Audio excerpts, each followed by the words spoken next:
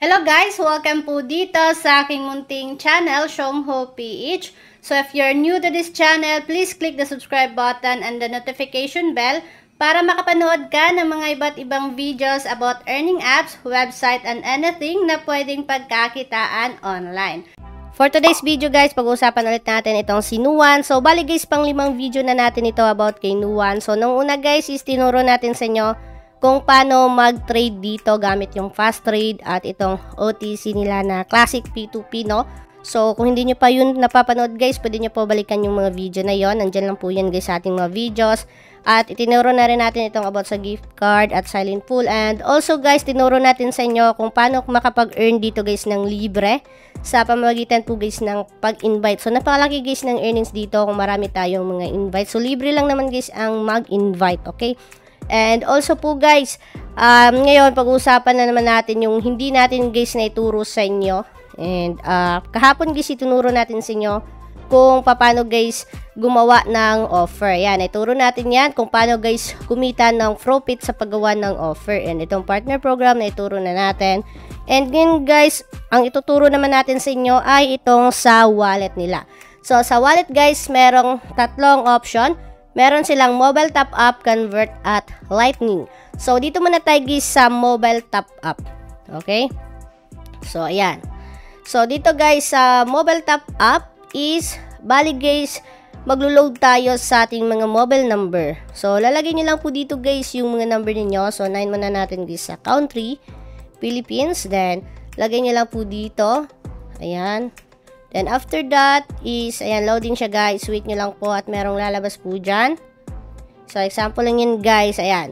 So, bale, pwede kayo makapag-recharge dito or makapag-buy ng data plan. So, kapag na-type nyo po guys yung, yung mga mobile number, is automatic na guys lalabas yung network ng SIM card ninyo. And ayan, example guys, bibili kayo ng 5 pesos na regular load. Pwede siya dito sa Nuance. And yung gagamit, gagamitin sa pagbayad guys is yung ating pinaka-balance na po dito. Ayan, yung 5 pesos guys is 0.115959 USDT, no? And kung gusto niyo ng 15 pesos, is ito yung babayaran natin. At kung gusto natin ng 45, ito naman guys yung babayaran natin. Okay, so ayan, kung hindi pa kayo guys marunong mag-top up dito, meron po tayong ginawang video kung paano guys lagyan ng balance itong ating mga no one's account. And ngayon guys, if ever gusto niyo ng data plan, kung ayaw niyo po guys ng regular load, Pili na lang kayo dito guys, no? Ayan, meron silang mga 100 MB per day for FB at non-stop chat and marami pang iba. Pili na lang kayo dyan guys kung ano po yung gusto nyong load. Meron pa silang 1 gig dito guys na TikTok, 6 gig na shareable data for all sites for 7 days. Ayan. Yan, hanapin nyo na lang dito guys, no? Yung mga offers na gusto nyo pang i-load sa mga SIM card ninyo. And I think guys, pwede natin siya magamit rin for um, business or kahit nasang country tayo guys, kung meron kayong mga ano, mga phone number, I think pwede nyo po siya guys i-ano dito, i-select kung nasaan man kayo and uh, try nyo po guys mag-load gamit itong no ones or mag-top up sa inyong mga mobile. Okay, so ganun siya kaganda guys and uh, meron pang ano dito sa wallet, convert, dito naman tayo. Okay. So, sa convert guys, so wallet, ka-convert lang natin yung ating asset. So, example, you have Bitcoin, And gusto niyo siya i-convert guys into USDT, ayan. So, napakadali lang din mag-convert. Example, meron kayong 1 Bitcoin, ayan. Automatic na guys, no? Or, uh, pwede niyo siya guys i-swap, okay? So, ganun lang. Depende guys kung ano yung mga asset ninyo.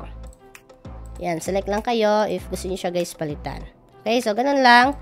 And sa pag-convert nila dito is, uh, madali lang guys. Yan, select nyo lang yung amount, then click nyo lang po yung convert. And ngayon guys, punta tayo sa Lightning. Okay, so sa Lightning guys, uh, ito yung pinakamadali no. Receive and send Bitcoin with Lightning Network. Easily send and receive Bitcoin to your wallet with amazing low fees and near instant speed. Okay? Learn more. So, basahin lang natin later guys yung uh, Lightning. What is Lightning? So the Lightning network guys is a system built on the top Bitcoin network that allows user to transfer BTC in matter of seconds with low fees. Ayan. So imagine that guys, Bitcoin yung ililipat natin at mababa lang guys yung fee.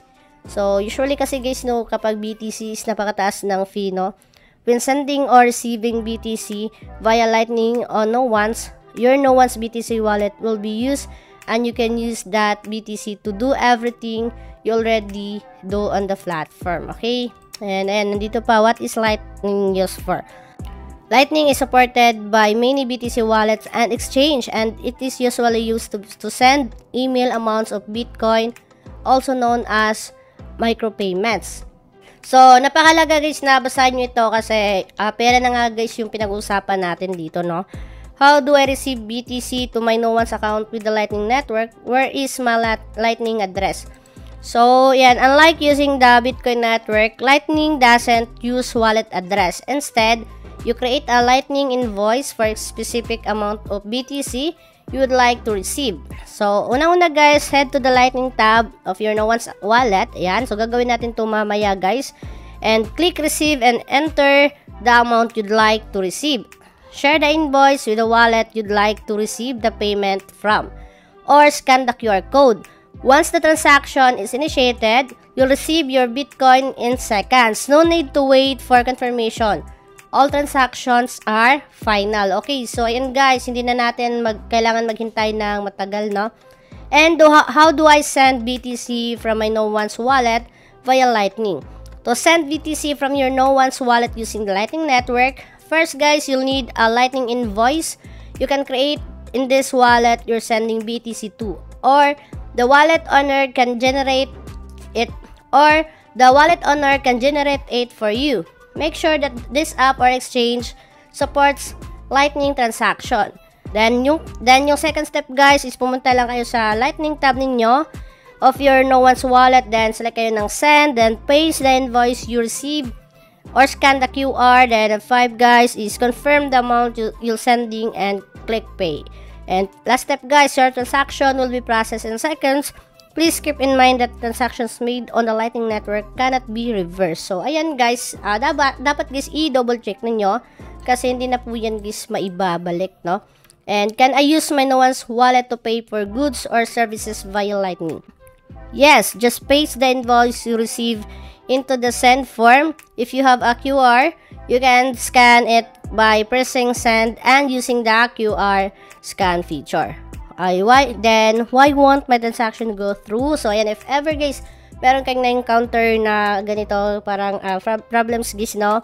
Make sure guys na nakapin niyo po yung invoice correctly. And an invoice is usually only valid for a few hours after it's been issued if your invoice expires you can create a new one so ayan guys palit-palit pala guys yung invoice natin dito hindi na natin siya pwedeng gamitin ulit dahil meron siya expiration guys. Then if you're still running into issue, feel free to reach out to our support team. Okay? So, ayan. Meron naman silang support dito guys, no?